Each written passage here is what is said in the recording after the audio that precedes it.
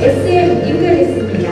발표를 해주실 엄상춘 대표이사님 그대로 자리해 주시기 바랍니다. 주식회사 SM English는 2008년 1월에 설립되었으며 영어 교육용 온라인 시스템 개발 및 공급하는 기업입니다. 네, 그럼 발표 시작해 주시기 바랍니다. 안녕하십니까. SM English 김상경 대표입니다. 회사는 2008년도 1월달에 설립돼서 영어 교육용 온라인 교육 시스템을 개발해서 운영하고 있는 회사입니다. 저희 회사의 경영진은 어, 풍부한 현장 경험과 열정 그리고 창의적 마인드를 가지고 각 분야의 전문가들로 구성이 되어 있습니다. 저희 회사는 2008년도 설립됐을 당시에 그 해에 벤처기업 인정을 받고 기업 수월 연구소를 설립해서 운영했습니다. 그리고 장학생이라고 하는 이노비, 이노비제 인정을 2010년도에 받고 그리고 2013년도부터는 연구소 그리고 대학과 더불어서 융복학 기술개발 사업을 진행했습니다. 그래서 특허는 특허를 포함해서 기술 등록증이 약 25개 정도가 있습니다. 저희 회사의 비즈니스 퍼포먼스에 대해서 말씀드리겠습니다. 저희 회사는 SM잉글리시에서 어, 판단할 때 대한민국의 영어 교육은 미국이나 필리핀처럼 자연스럽게 글로벌 랭귀지를 수준 있는 학생으로 올라가지 않습니다. 대한민국에서 영어 교육은 많은 반복과 숙달과 들이를 해야 되는 과목 특성이 있습니다. 그래서 이렇게 하는 과정은 온라인에 적합하다고 판단을 하고 판단을 하고 저희들이 온라인을 개발합니다. 학습용 온라인을 개발을 해서 약 3천 권의 책을 가지고 3천 권의 컨텐츠를 가지고 현재 500개 정도의 학원의 시스템을 공급해서 운영하고 있습니다. 3천 권의 컨텐츠는 대한민국에서 YBM, 능률, 이퓨처들 서점에서 흔히 가면은 볼수 있는 어떤 컨텐츠의 경우에는 책으로 되어 있는 컨텐츠, 책으로 되어 있는 경우- 경우에는 reading이나 listening이나 writing이나 또는 토플이나 토익이나 이런 다양한 책으로 되어 있는 컨텐츠도 있지만 또 애니메이션, 또 팝송, 뉴스 등등의 컨텐츠가 영어 교육에서 활용되고 있습니다. 그래서 이러한 컨텐츠를 생산하는 회사로부터 저희는 컨텐츠를 윈윈의 방식으로 융합의 방식으로 공급을 받아서 이걸 가지고 학생들이 학습을 할 수 있도록 온라인 시스템을 개발을 해서 온라인 학습 시스템을 개발을 했습 blended learning 방식이나 영어 도서관 방식이나 등등의 각종의 방식 지금 현재 약 전국에 한 500여 개의 학원에 시스템을 공급하고 있는데 그 공급하고 있는 내용은 왜 그러냐면 다양한 컨텐츠를 가지고 학원에서 다양한 방법으로 가르치는 데 있어서 커리큘럼을 다양하게 할 뿐만 아니라 실제로 교육 현장에서 보면 reading 책은 reading, listening, listening, 그래서 토플이면 토플, 아니면 팝송이면 팝송 등등의 컨텐츠가 다양한 학습 방법이 요구되고 있는데 그게 저희들이 그러한 데 맞추는 온라인을 개발해서 공급하고 그걸 하는 데 있어서 실제로 운영하는 데 있어서 굉장히 편하고 체계적인 관리 시스템을 공급하기 때문입니다. 저희들이 학원에 그동안 해왔던 내용들에 대해서 간단하게 보겠습니다. 잠깐 동영상을 보겠습니다.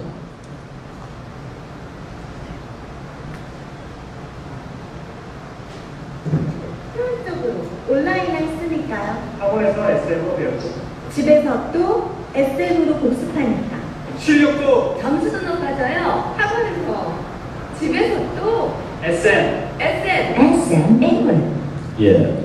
컨텐츠 내용은 단순히 학생들만 할 수 있는 컨텐츠가 아니고 왕초보부터 영어 수준이 상당히 높은 영어 마스터 과정에는 다양한 컨텐츠, 성인들도 충분히 할 수 있는 컨텐츠로 구성이 되어 있습니다. 그러다 보니까 그동안 학원 중심으로 해왔던 것에서 시장 확장을 위해서 시장 분석을 해봤습니다. 성인 상교육 시장에 보면은 전체적으로 약 한 2조 3천억 정도 되는 시장 중에서 1조 8천억 정도가 언어 교육인데 그 중에서 영어 쪽으로 많이 치중되어 있습니다. 그런데 이 교육이 과거에는 오프라인 방식으로 많이 했지만 지금은 절반 이상이 온라인을 베이스로 하고 있습니다. 또 이 온라인 베이스로 하는 것은 점차 점차 확대되어 갈 것으로 해서 지금 시장에 보면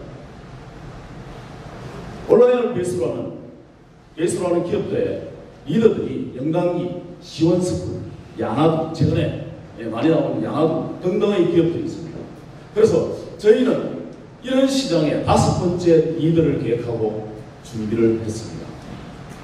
왜 그러냐면 영어 교육의 추세가 과거와 다르게 계속 발전에 발전을 해왔습니다. 최근의 추세는 온라인을 위해서 가지만 교육과정 개편이라든가 그리고 자유로운 의사소통이 강조되는 영어가 수준 높은 영어가 계속 연되는 걸 요구하고 있는 것은 저희 제품이 굉장히 슈트로 맞다고 생각을 하고 맞다고 생각을 하고 저희들이 추가 시장을 개척하게 됩니다.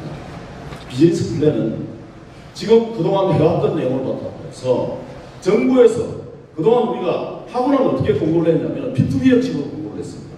학원을 통해서 학생들이 학습을 하도록 이렇게 해서 B2B를 해서 학생들이 하는 방법을 했는데 이 B2B 학, 확산이 사교육이라는 정부 정책에서 맞지 않는 부분이 좀 있습니다만 어쨌거나 그걸 유지를 하면서 정부 정책과 맞으면서 B2B를 확장을 하면서 그리고 추가로 B2C도 확장을 계획을 하고 제품을 개발해 왔습니다. 시장을 좀 보면 지금 현재 학원을 하고 있는 건 두고 현재 제3교육시장이라고 하는 제3교육시장이라는 이 시장이 굉장히 비대하게 커지고 있습니다. 특히 금년에 나온 교육정책이 내년부터는 중간고사나 기말고사를 없애겠다는 교육정책이 굉장히 강력하게 이번 정부에서 나오고 있습니다. 그래서 교회에서 하는 공부방, 그 다음에 지역아동센터, 작은 도서관, 그리고 문화센터, 그리고 방과후 등등 형태가 B2B 형태로 확대되고 있는 제3의 교육시장. 그리고 또 하나는 IT가 발전하면서 이제는 학원으로 배우러 가지 않고 스스로 어떤 기구를 가지고 하는 B2C 시장이 굉장히 거대해지고 있습니다. 이 두 개 시장을 저희들이 focusing을 했는데 우선 B2B 영역을 보면 교회 문방, 작은 도서관, 지역아동센터, 문화센터, 방과후 교실 이런 데가 보면 공익적 성격이 좀 강한 데다가 영리 목적으로 하는 부분에서 좀 약합니다. 그래서 교육비가 쌉니다. 그래서 정부에서 하고자 하는 교육정책하고 맞아떨어진 지역인데 여기에 하나의 문제가 이걸 교육하는 강사진의 전문성이 아무래도 낮다 보니까 좀 부족한 게 보입니다. 그러다 보니까 학생들도 하여금 자기주도 학습을 많이 유도시키고 그런데 저희 제품이 자기주도 학습, 강사진의 취약점을 훌륭히 보완할 뿐만 아니라 그동안 학원에서 그렇게 해왔기 때문에. 그리고 하여금 자기주도를 하는데 굉장히 세밀하게 학생의 수준에 맞게 다양한 콘텐츠로 그 다음에 맞춤형으로 그렇게 하는데 이거에 대해서 세심한 관리할 뿐만 아니라 저희들 보면은 예를 들어서 교회 같은 경우에 교회 같은 경우에 최근에 굉장히 큰 교육시장으로 구상을, 구상을 하고 있는데 교회 같은 경우에는 영어 성경, 영어 찬송가, 그 다음 뮤지컬 같은 걸 추가로 해서 했지만 신앙심도 높아질 뿐만 아니라 신앙도 높아지면 영어 실력도 굉장히 향상되는 효과를 위해서 굉장히 반가워 했습니다. 그래서 이거는 금년에 해서 내년부터는 본격적인 마케팅과 그래서 B2B를 추가 확충을 해 나갈 예정입니다. 그리고 B2C에 대해서 말씀드리겠습니다. 기존에 나와 있는 제품들이 이런 제품을 IT를 베이스한 이런 제품을 기본으로 해서 개인한테 그냥 이걸 가지고 합니다. 그래서 어떤 회사에 보면은 그 자체에서 생산한 콘텐츠를 가지고 이렇게 공부하면 됩니다. 그래서 이 프로비가 개인한테 나오고 체계가 붙어서 나옵니다. 근데 저희들도 마찬가지 이러한 걸 나가는데 이거는 온라인도 되지만 이 안에 탑재된 콘텐츠도 됩니다. 그래서 저희 같은 경우는 원래 가지고 있는 풍부한 콘텐츠 3천여 원에다가 플러스해서 플러스해서 탑재형 한 천여 원 정도 저희는 콘텐츠를 만 원에서부터 확보를 할 수가 있기 때문에 그래서 나가게 되는데 이거에 대한 제품 차이는 기존에 나와 있는 제품은 단일 형태의 커리큘럼을 형성하지만 저희 같은 경우는 다양한 형태 예를 들어서 듣기를 하다가 예를 들어서 말하기를 하기 위한 동영상을 보다가 애니메이션을 보다가 토플을 하다가 단어 학습을 하다가 이렇게 해서 영어에 관한 형태의 새로운 제품을 내놓는다는 것은 지금까지 현재 나오지 않는 B2C 시장에 일반으로 나올 수 있는 제품으로서 저희들이 굉장히 큰 히트를 치지 않을까 생각합니다. 이렇게 생산된 제품을 저희들이 마케팅은 B2C 제품의 같은 경우에는 저비용 고효율의 원칙을 바탕으로 해서 온라인 쇼핑몰을 통하거나 종합을 그러고 나면 홈쇼핑 등을 통해서 계속 확장해 나가, 나가면서 저희만이 가진 특징은 다른 회사는 로컬에 어떤 거점이 없습니다만 저희는 500개 학원뿐만 아니라 제3시장도 교육망뿐만 아니라 판매망으로도 말하자면 그게 되지 않을까 싶습니다. 그래서 저희들이 매출 예상을 해볼 때 지금 현재 거의 B2B 제품의 확장과 B2C 제품의 확장을 생각해 봤을 때 확장을 생각 B2C 확장을 생각 거의 제품 개발이 끝났고 내년부터 본격적인 매출을 했을 때 B2C 제품 B2C 제품 꾸러미면 그다음 제3시장의 B2B와 기존의 학원에 있는 걸 합쳤을 때 내년에 112억 그 다음에 2019년도에 224억 그다음에 2020년도에 약 500억 정도 매출을 함으로써 IT 기반으로 하는 제5의 기업으로서 충분히 자리매김하지 않을까 싶습니다.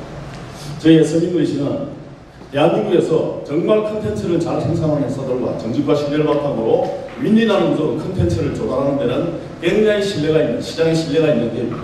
그런 컨텐츠를 가져와서 온라인으로 학생들이 학습을 하는 데 있어서 학습을 하는 데 있어서 그동안 저희들이 축적되고 있는 개발된 기술을 바탕으로 해서 학생들이 하는 제품으로 내- 내서 진정성 있고 깊이가 있고 편리하고 그런 제품으로 끊임없이 개발 개발 대진해 나갈 예정입니다.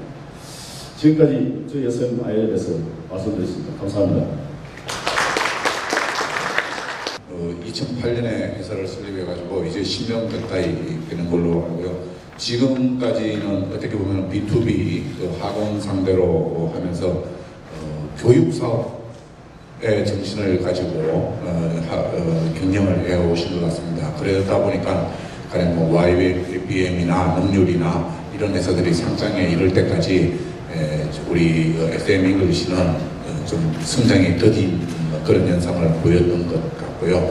어, 그 타개책인지 최근에 와서 이제 어, 태블릿 을 제공하는 B2C 시장으로 진출해서 어, 매출을 크게 끌어올리겠다 뭐 이런 생각을 가지시는 것 같습니다. 그래서 제가 이렇게 느낀 바로는 B2B에서 B2C로 넘어가는 게 결국은 어, 교육에서 이제 장사로 넘어가는 게 아닌가 하는 생각이 듭니다. 그래서 어, 가령 그 시- 어, 시원스쿨 또는 요즘 또 광고 많이 하는 야나두 이런 것들은 어, 물론 이제 뭐 저도 그걸 가지고 공부를 안 해봤기 때문에 예, 컨텐츠가 얼마나 좋은지는 잘 모르겠지만은 그동안 쌓아온 그 SM English의 컨텐츠를 따라가기는 힘들 것 같습니다. 반면에 그 두 회사는 엄청난 광고비를 쏟아부으면서 광고 전략으로서 이제 성장을 했습니다. 근데 어, 지금 어, 발표하신 내용을 보면은 지나치게 컨텐츠만 이래 믿고 나가시는 게 아닌가. 그래서 어, 향후 이제 매출을 진짜 끌어올릴 수 있는 소비자한테 다가갈 수 있는 그런 광고 전략 뭐 이런 것도 생각하시는 게 있는지 어, 들어보고 싶습니다. 어, 영어 교육이라고 하는 게 사실 굉장히 완전체 교육입니다. 그래서 약간 기다림이 필요한, 어떤 완전한 제품을 만들어낸다는 게 기다림이 필요한데, 대나무가 아, 자라기 위해서 4년 동안 뿌리를 뿌렸다가 3개월 만에 커가듯이, 저희 회사는 오랫동안 사실, 어, 당장에 많은 기술 개발을 해오면서 굉장히 다양한 컨텐츠를 축적해 왔습니다. 그래서 이제는 B2C 제품으로 나가도 손색이 없겠다. 그리고 B2B의 시장 확장을 해도 손색이 없겠다. 이런 판단이 되는 시점이 됐습니다. 그래서 어, 지금 말씀하신 대로 사실 어떤 제품들이 시장에 홍보나 광고로 하는 데서는 한계가 있습니다. 소비자가 좀 지나면 요즘은 특히 그에 대해서 인식을 하는데 빨리 결정이 나겠죠. 그래서 저희는 알면 알수록 아, 이 회사 제품은 깊이가 있구나. 그리고 온라인상으로 지금 대한민국의 영어 교육은 끊임없이 발전하는데 그런 회사들과 저희는 융합해서 컨텐츠를 가져와서 이걸 말하자면 여러 가지 기능, 인공지능이나 이런 기능을 넣어서 사용자들이 보다 필요한 학습 과정을 합니다. 그래서 사실은 저희 입장에서는 현재 고비용 저효율의 방법의 어떤 마케팅을 하는 게 아니고 저비용 고효율의 마케팅을 쓸 수밖에 없는 상황입니다.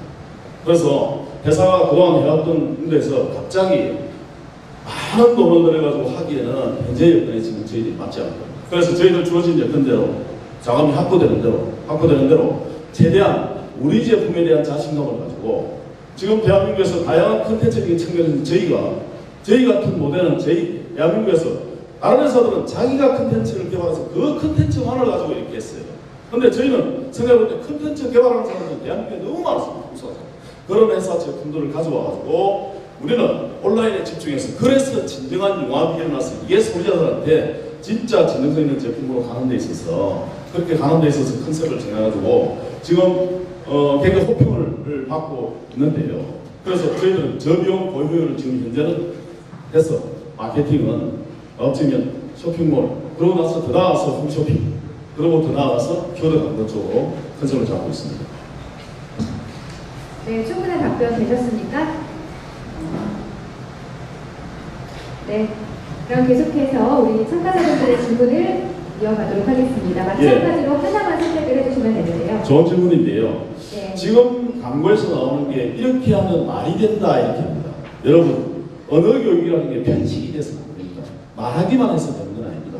듣기도 해야 되고 읽기도 해야 되고 쓰기도 해야 되고 말하기도 해야 되고 그래야 의사소통이 되는 겁니다.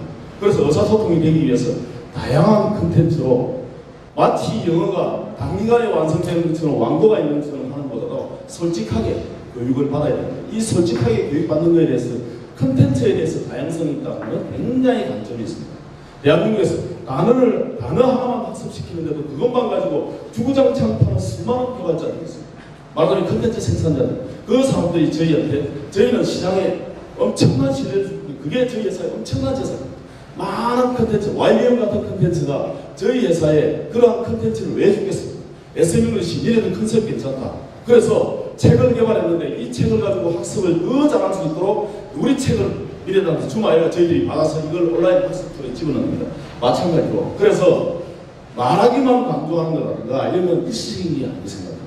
결국은 저희 학습 툴에는 말하기를 하는 시리즈에 해당되는 승인들 말하기를 하는 시리즈만 해도 몇백 편의 시리즈가 있습니다. 동영상 강의 형태로 해서. 그래서 동영상 강의를 여기서 탭을 했는데 그걸 했다가 어 되니까 이제 토플 좀 해볼까? 그럼 토플 공부도 들어가는 겁니다. 어 해보고 시간 관계상 다른 공부 좀 할까? 아니면 듣기 좀 할까? 이런 기회가 아직까지는 시장에 출연하지 않았습니다. 그래서 저희 같은 경우는 이제 드디어 시장에 그걸 진출하고자 합니다. 진출하고자 했을 때 만약에 저희가 그동안 해왔던 경험으로 봐서는 충분히 호평을 받을 것으로 것- 받을 것으로 예상되고요. 그렇게 했을 때 저희들이 내년에 만 카피 정도를 예상했습니다. 그렇게 많은 숫자가 아닙니다. 대한민국 전체가 다 영어를 해야 된다는 컨셉에서는 그렇게 많은 컨셉은 아닌데 일단 그 정도만 해도 저희에서는 충분히 엔진을 팍팍팍 가동하는 데 지장이 있지 않나 싶습니다. 네, 감사합니다. 자, 그럼 지금까지 주식회사 SM English였습니다. 여러분 격려의 박수 부탁드립니다.